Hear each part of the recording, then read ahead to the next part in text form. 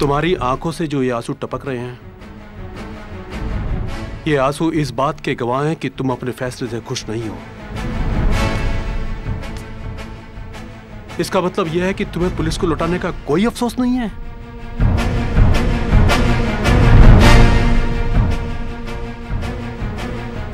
इस आँसू से मुझे साफ़ नज़र आ रहा है। अपनी कनपट्टी पे रखी रिवॉल्वर के डर से।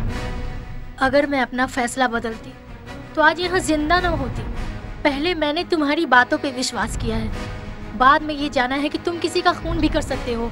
इसका मतलब ये है कि तुम्हें मेरी मुश्किल आसान करने का कोई अफसोस नहीं है? एक रात के मेहमान से अफसोस कैसा?